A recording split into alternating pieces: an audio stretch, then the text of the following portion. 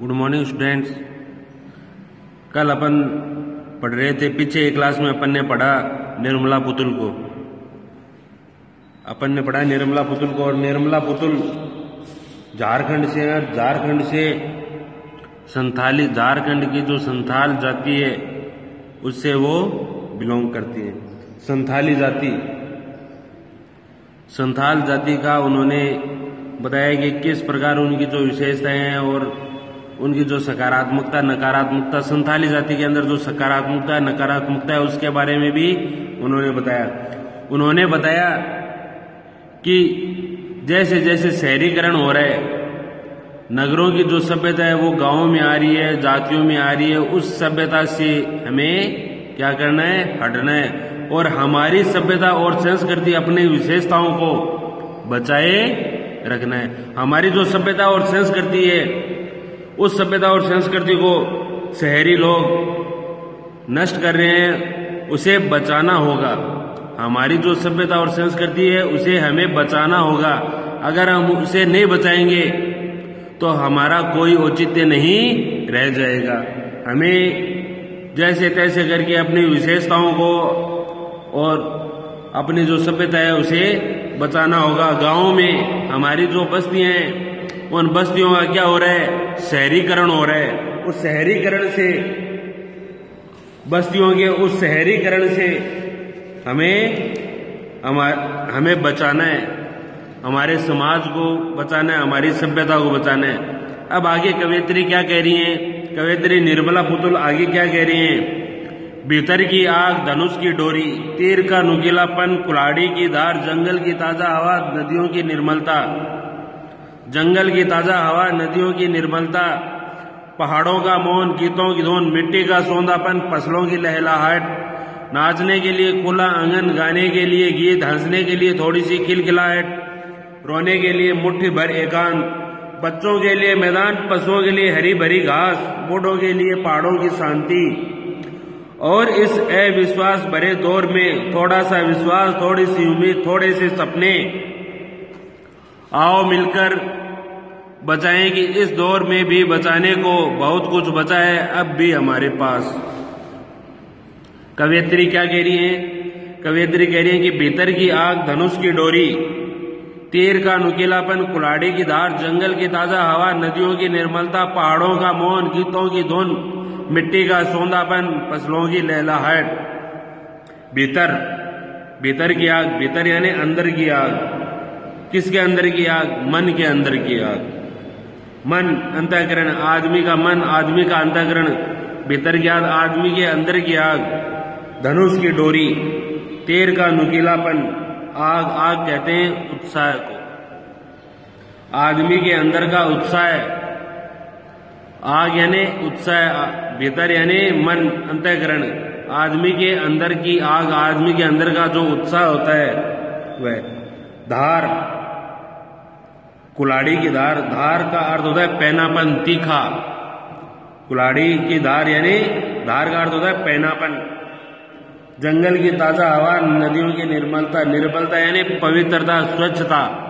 स्वच्छ, साफ़ सुथरा, पवित्र, उसे कहते हैं निर्मलता। पहाड़ों का मौन मौन का अर्थ होता है शांति।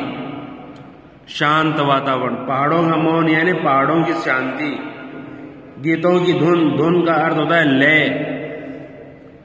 जब कोई आदमी गीत गाता है, एक लय के अंदर गाता है तो वो क्या होती है? वो उसकी होती है धुन।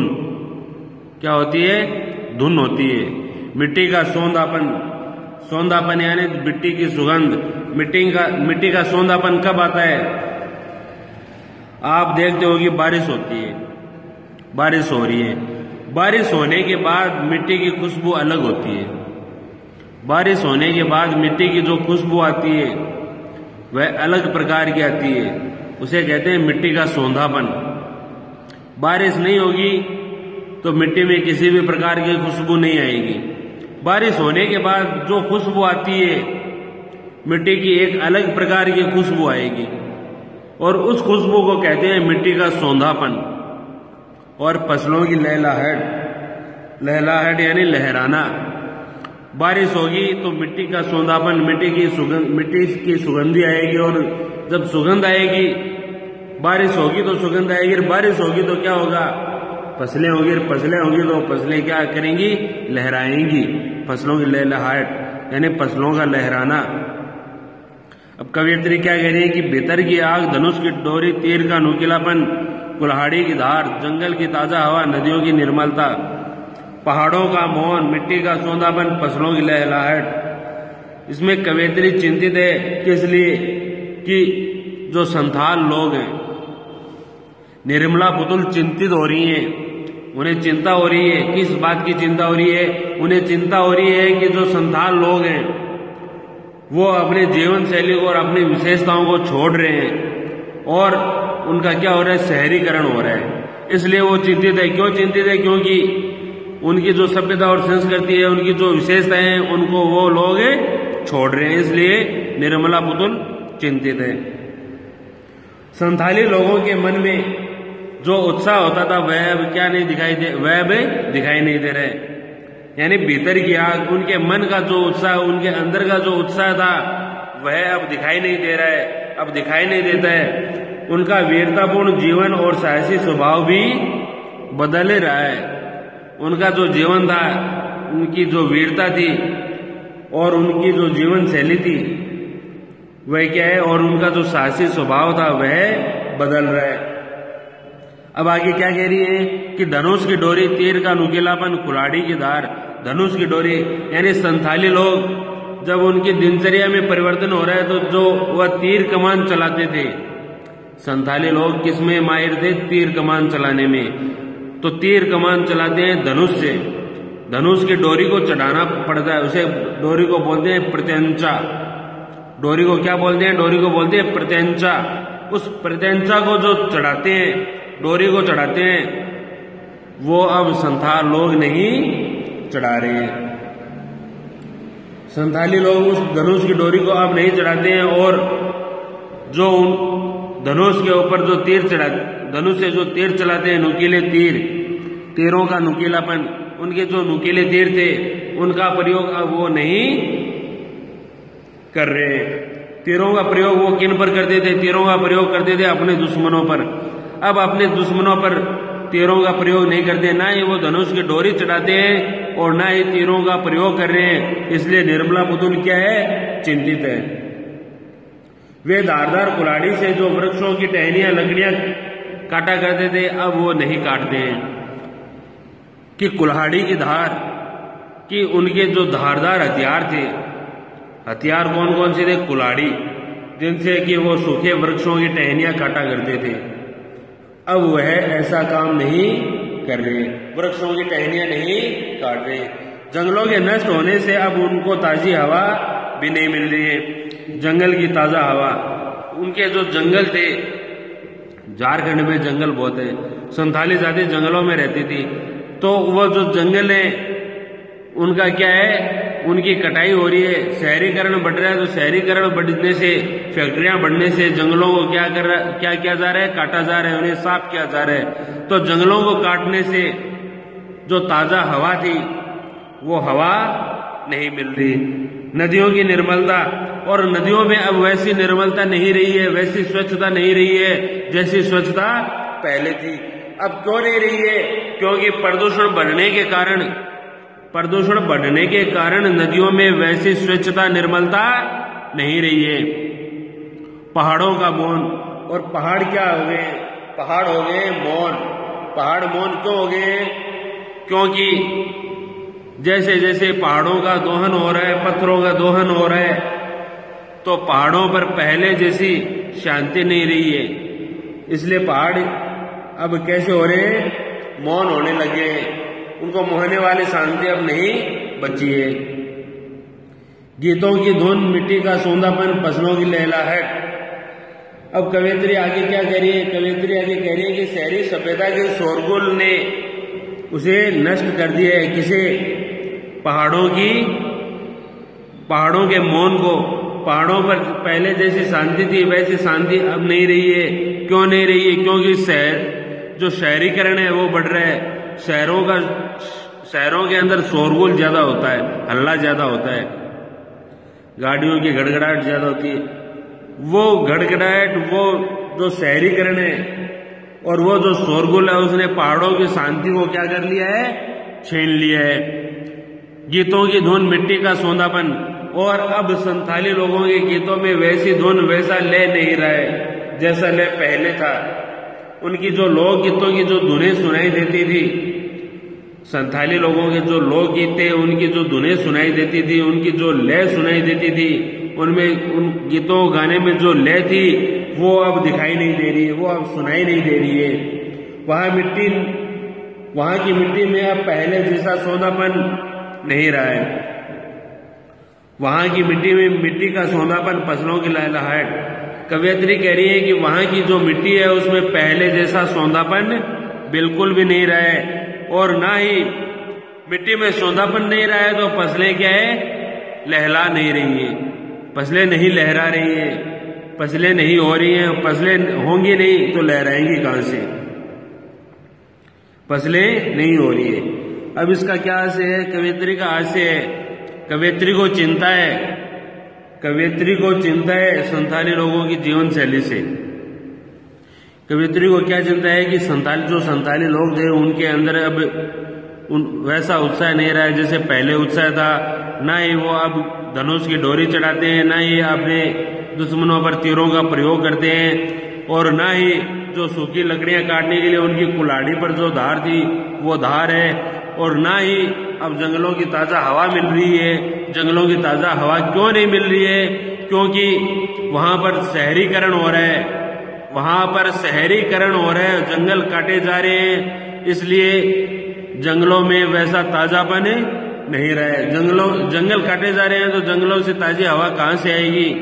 और ना ही वहाँ की नदियों में वैसे पहले जैसी निर्मलता, स्वच्छता रही, नहीं रही है। क्यों नहीं रही है? क्योंकि प्रदूषण अधिक हो रहा है। प्रदूषण होने से नदियाँ क्या है? अपवित्र हो रही है, अस्वच्छ हो रही है, स्वच्छ नहीं है।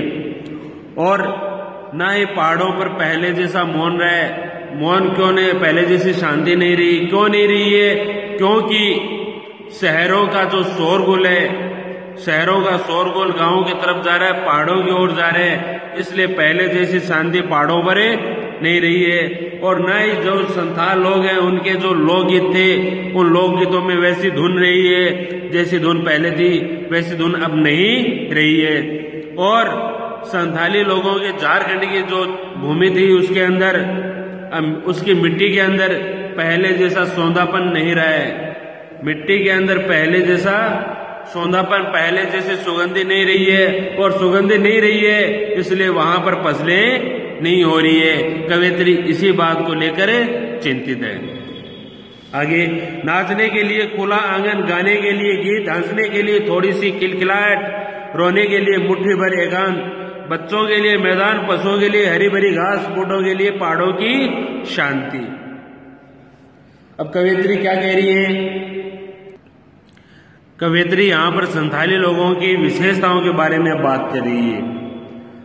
अब इनमें कवित्री के, निर्मला पुतुल के जो संथाली लोग हैं, उनकी विशेषताओं के बारे में बात करिए कि नाचने के लिए खुला आँगन, गाने के लिए गीत। कवित्री कह रही है कि संथाली लोगों को नाचना, गाना अधिक प्रिय था और उनके नाचने के लिए वहाँ पर खुले खुले आँगन है और गाने के लिए अनेक लोकगीत हैं। यहाँ पर कवियत्री, निर्मला बुदुल संथाली लोगों की विशेषताओं के बारे में बात कर रही है। कि संथाली लोगों को नाचना गाना अधिक प्रिय लगता है। इसलिए उनके नाचने के लिए जो आँगन है, वो क्या है? खुले हैं। और गाने के लिए लोकगीत बहुत सारे हैं संताली भाषा के बहुत सारे लोकगीत हैं जो उनको प्रिय है गाने के लिए। हंसने के लिए थोड़ी सी खिलखिलाहट, रोने के लिए मुठ्ठी भर एकांत। अब कवियत्री कह रही है कि लोग प्रसन्न चित्त रहते हैं और हँसते, खेलते रहते हैं। हंसने के लिए थोड़ी सी खिलखिलाहट वहाँ के लोग, संथाली लोग क्या है कि प्रसन्न मुद्रा में रहते हैं, और खिलखिलाते रहते हैं, हँसते रहते हैं, रोने के लिए मुठ्ठी भर एकांत।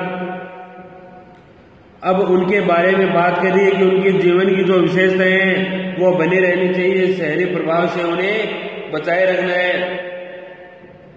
कवित्री कह रही है कि संताली लोगों के अनेक ऐसे अवसर है, जहाँ पर वह क्या है, हँसते हैं, रोते हैं और गाते हैं। और उस रोने के लिए वहाँ पर एकांत स्थान की कमी नहीं है। कहाँ पर? मुट्ठी भर यानी तुच्छ, थोड़ा सा। मुट्ठी भर का अर्थ होता है थोड़ा सा। एकांत यानी अकेलापन। और वहाँ पर रोने के लिए बहुत सारा एकांत है। बच्चों के लिए, मैदान पशुओं के लिए हरी हरी घास, बूढ़ों के लिए, पहाड़ों की शांति। अब कवित्री क्या है? संताली लोगों की विशेषताओं के बारे में बात कर रही है। कह रही है कि संताली लोगों के बच्चों के खेलने के लिए गाँव में खूब बड़े बड़े मैदान है। खूब बड़े बड़े मैदान है पशुओं के लिए हरी हरी घास। और जो उनके पशु हैं, उनके चरने के लिए हरी घास खूब मिलती है।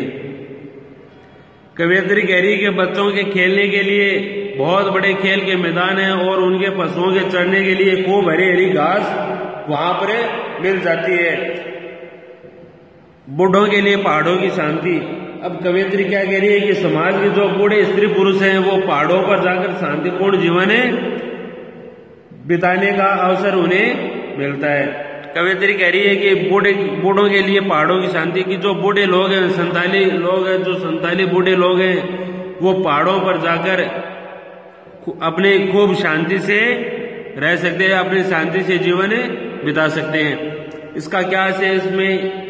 कवित्री का आशय है कि जो पहाड़ी, जो संथाली लोग हैं, उनकी विशेषताओं को क्या करना है? बचाए रखना है। उनकी जो विशेषता है, उन विशेषताओं को बचाए रखना है। और जो जीवन, उनका जो जीवन है, उसको शहरी सभ्यता से दूर रखना है। तभी संथाली लोग अपने जीवन शैली को और अपनी सभ्यता और संस्कृति को, अपनी विशेषताओं को बचाए रख। सकती है। और इस अविश्वास भरे दौर में थोड़ा सा विश्वास थोड़ी सी उम्मीद थोड़े से सपने आओ मिलकर बचाएँ। इस दौर में भी बचाने को कुछ, बहुत कुछ बचा है अब भी हमारे पास। अब कवित्री क्या कह रही है? कवित्री कह रही है, और इस अविश्वास भरे दौर में, दौर का अर्थ होता है समय। अविश्वास का अर्थ होता है भरोसा नहीं करना। अविश्वास यानी भरोसा नहीं करना, दौर का अर्थ होता है समय। थोड़ा सा विश्वास थोड़ी सी उम्मीद। उम्मीद यानी आशा, किसी से आशा करना। किसी से आशा करना, थोड़े से सपने। सपने होते हैं आकांक्षाएँ। सपने क्या होते हैं? आकांक्षाएँ। आओ मिलकर बचाएँ, इस दौर को बचाने में बहुत कुछ बचा अब हमारे पास। कवियत्री क्या कह रही है? कवियत्री कह रही है कि जो शहरी सभ्यता है, शहरी सभ्यता ने कैसा वातावरण बना दिया है? अविश्वास का वातावरण बना दिया है। और इस अविश्वास भरे दौर में कि ये जो समय शहरी सभ्यता के संपर्क में आने से ये जो समय, ये समय कैसा आ गया है? अविश्वास का समय आ गया है। कि कोई भी आदमी, किसी दूसरे आदमी पर भरोसा बिल्कुल नहीं करता है। इस दौर में, इस समय में कोई आदमी, किसी दूसरे आदमी पर बिल्कुल भी भरोसा नहीं करता है। कि इस अविश्वास भरे दौर में थोड़ा सा विश्वास, थोड़ी सी उम्मीद, थोड़े से सपने। कवित्री कह रही है कि संताली जीवन की समस्त जो विशेषता है, वो क्या हो रही है? मिट रही है। उनमें अविश्वास का वातावरण बनाया जा रहा है। शहरी सभ्यता के मिलने से और लोग एक दूसरे को किसकी दृष्टि से देख रहे हैं? संदेह की, शंका की दृष्टि से देख रहे हैं कि इस अविश्वास और संदेह के इस समय में सामाजिक पवित्रता के लिए थोड़ा सा विश्वास बनाए रखना बहुत आवश्यक है कि थोड़ा सा विश्वास, इस अविश्वास और संदेह भरे दौर में कि आदमी आदमी पर विश्वास नहीं कर रहा है, एक दूसरे पर संदेह कर रहा है। इस समय में संथाली जो लोग हैं, उनको क्या है? आपस में थोड़ा सा विश्वास थोड़ा सा भरोसा रखना चाहिए। उन, उन्हें अपना विश्वास बनाए रखना आवश्यक है। अब भी भविष्य के प्रति आशा और आकांक्षाओं को सुरक्षित रखना ज़रूरी है कि थोड़ी सी उम्मीद थोड़े से सपने कि अब भविष्य में जो आने वाला समय है उसके प्रति हमें आशा रखनी चाहिए और आकांक्षाओं को थोड़े से सपने सपने यानी आकांक्षाएँ। और आकांक्षाओं को क्या रखना चाहिए? बचाए रखना चाहिए कि सुनहरे भविष्य के प्रति हमें आशा और आकांक्षाओं का पैदा होना संथाल के संथाली लोगों के प्राकृतिक जीवन में भी संभव है। ईश्वर उसकी क्या करे? हम उसकी रक्षा करें। आओ मिलकर बचाएँ। इस दौर में भी बचाने को बहुत कुछ बचा है, अब भी हमारे पास। कवियत्री कह रही है कि आओ मिलकर बचाएँ। अब किसे बचाए? कवियत्री क्या कह रही है? कवियत्री का कहने का मतलब ये है कि इस समय जो शहरीकरण हो रहा है, उस शहरीकरण ने हमारी अनेक बहुत सारी लोक सभ्यता और संस्कृति को क्या कर दिया उस शहरीकरण ने नष्ट कर दिया है। नष्ट कर तो दिया है, जितना तो कर दिया है कि अब इस दौर में भी बचाने को बहुत कुछ बचा है। कवियत्री कह रहे हैं जो नष्ट कर दिया वो तो कर दिया। लेकिन अब इस समय में हमारे पास जो बाकी बचा है कि इस दौर में बचाने को भी बहुत कुछ बचा है। अब इस दौर में भी इस समय में भी हमारे पास जो कुछ बचाने के लिए बचा है उसे हम बचा कर रखें। उसकी जो बहुत सी ऐसी बात, बातें बची है जिन्हें हमें बचाना है उनकी बहुत सी विशेषताएँ अब भी शेष हैं बची हुई हैं। अब भी हमारे पास बहुत कुछ बचा है, अब भी हमारे पास। कवियत्री कह रही है कि जिनकी रक्षा हमें क्या करनी चाहिए, कैसे करनी चाहिए? मिलजुल कर हमें उसकी रक्षा करनी चाहिए। और आओ अब हम मिलजुल कर इनको बचाने का प्रयत्न करें। हमारे समाज की संताली, समाज की जो सभ्यता और संस्कृति है, उसे बचाने का प्रयास करें। इसका क्या तात्पर्य है? इसमें निर्मला पुतुल क्या कह रही है? निर्मला पुतुल कह रही है कि जो संथाली लोग हैं, उनके जीवन को, उनकी सभ्यता और संस्कृति को शहरीकरण ने जो गाँवों का जो शहरीकरण हो रहा है, उस शहरीकरण ने क्या है? नष्ट कर दिया है। बहुत सी ऐसी विशेषताएँ हैं जिन्हें उन्हें नष्ट कर दिया है, लेकिन पूरी सभ्यता और संस्कृति अभी भी नष्ट नहीं हुई है। जो बची है, उसे हमें क्या है? मिलजुल कर हमें मिलजुल कर उसे बचाने का प्रयास करना चाहिए और हमें मिलजुल कर उस सभ्यता और संस्कृति को बचाना है और उस, उसे बचाने का और अत्यधिक प्रयास करना चाहिए जो हमारी सभ्यता और संस्कृति बची हुई है। उसको बचाने का और ज़्यादा प्रयत्न करना चाहिए। और बचाने के लिए अब भी हमारे पास बहुत कुछ पड़ा है। हमने ऐसा नहीं है कि सब कुछ खो दिया है। बहुत कुछ हमारे पास बचाने को पड़ा है और उसे हमें मिलजुल कर बचाना चाहिए। इसके क्वेश्चन आंसर हमें अब इसके क्वेश्चन आंसर करने माटी का रंग प्रयोग करते हुए किस बात की ओर संकेत किया गया। कवित्री ने किस बात की, माटी का रंग में कवित्री ने किस बात की ओर संकेत किया है?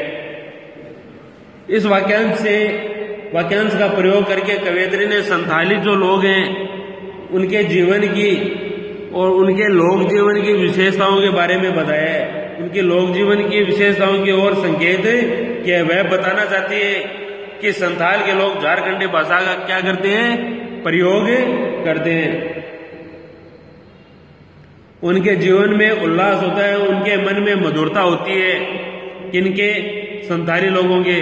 संथाली लोग भोले होते हैं, परंतु आत्मसम्मान के लिए संघर्ष करने की भावना तथा अक्कड़पन उनके अंदर होता है। किन के अंदर? है संथाल है लोगों के अंदर। क्वेश्चन नंबर दो, भाषा में झारखंडीपन से क्या अभिप्राय है? भाषा में झारखंडीपन से अभिप्राय है कि झारखंड की भाषा की स्वाभाविकता तथा मौलिकता है। जो झारखंड की भाषा है, उसमें स्वाभाविकता तथा मौलिकता मौलिकता है। उच्चारण में झारखंड की भाषा की विशेषताओं का ध्यान है। रखना चाहिए। झारखंड के निवासी जिस प्रकार की भाषा का प्रयोग करते हैं, उसको उसी प्रकार बिना किसी बनावट के अथवा बिना अन्य भाषाओं की मिलावट के प्रयोग करना ही इनका अभिप्राय है। इसे ही झारखंडीपन है। दिल के भोलेपन के साथ साथ अकड़पन और जुझारूपन को भी बचाने की आवश्यकता पर क्यों बल दिया गया क्वेश्चन तीन इसका क्या आंसर है? इसका आंसर है कि कवियत्री मानती है कि झारखंडी लोगों का मन पवित्र होता है। कैसा होता है? पवित्र होता है। वे स्वभाव से भोले होते हैं, परंतु उनमें अकड़पन और जुझारूपन भी होता है। स्वभाव के भोलेपन तथा अकड़पन और संघर्षशीलता का गुण कवियत्री को विरोधी नहीं, पूरे की ही दिखाई देता है। जो कवियत्री है, निर्मला पुतुल है, उनको जो जुझारूपन है, अकड़पन है, वो विरोधी नहीं। उनका पूरक ही दिखाई देता है। प्राय भोले लोग ही अनिति के विरुद्ध तनकर खड़े होते हैं तथा संघर्ष करते हुए कठोर रुख अपनाते हैं। चालाक जो मनुष्य होते हैं, बुराई के विरोध को भी हानि के गुण, हानि लाभ के गुण करके देखता है। भोले लोगों को अत्याचार सहन होता है और वे विरोध के लिए उतर। पड़ते अतः कवित्री चाहती है कि दिल के भोलेपन के साथ साथ उनके अखड़पन तथा जुजारूपन की भी रक्षा होनी चाहिए।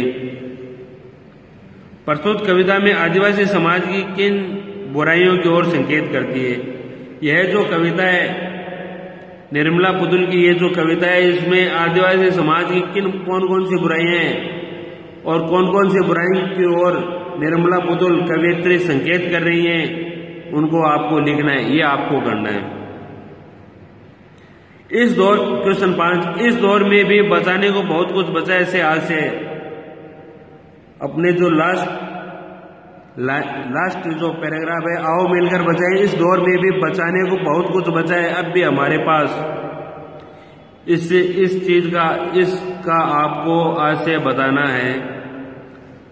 पंक्तियों में काव्य सौंदर्य को उद्घाटित कीजिए। ठंडी होती दिनचर्या में जीवन की गर्माहट है। थोड़ा सा विश्वास थोड़ी सी उम्मीद थोड़े से सपने आओ, मिलकर बचाएँ इन दोनों का काव्य सौंदर्य आपको बताना है। बस्तियों को शहर की किस आबो हवा से बचाने की आवश्यकता है? ये अपन ने शुरू शुरू में पढ़ा था। बस्तियों को शहर की किस आबो हवा से बचाने की आवश्यकता है? यह भी आपको ही करना है। इन क्वेश्चन आंसर को आप अपनी नोटबुक के अंदर ज़रूर करें। ठीक है? ओके थैंक यू आप अपना ये चैप्टर यहीं पर पूरा होता है। आपको इसके क्वेश्चन आंसर करने और एक बार पढ़ना ज़रूर है, निर्मला पुतुल को आपको। ठीक है? Okay thank you